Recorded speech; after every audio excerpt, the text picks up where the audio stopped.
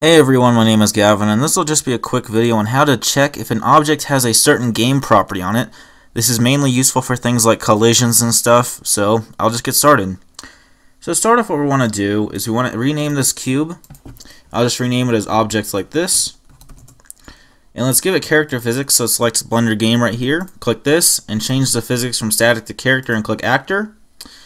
Alright, so now that we have this, what we're going to do is do spacebar and add a plane spacebar add plane like this, and drag this plane just below our cube like this.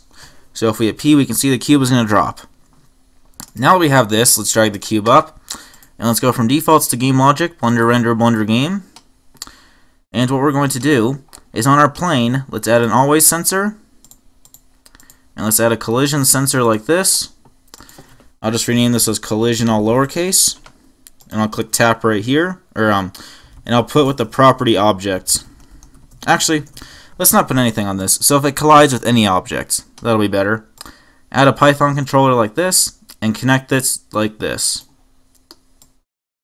Okay, now that we have this, what we're going to do is I'll just select tap right there. Is I'm going to write a script, so let's do templates, Python, and then game logic simple.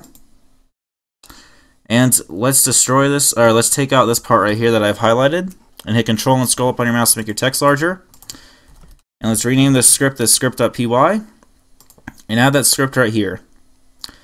Let's now define our collision sensor. So let's do collision is going to equal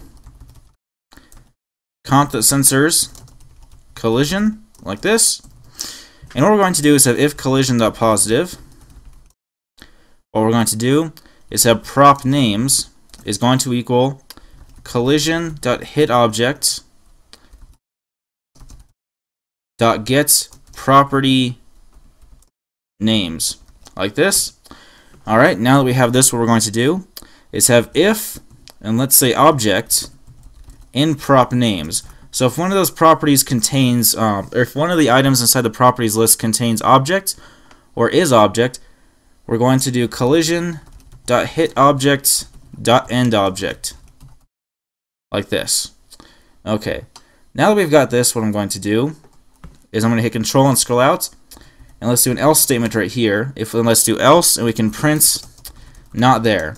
So if the property is not there we can print that. So I'm going to do window and toggle system console to open this up. And if we hit P we see it prints not there.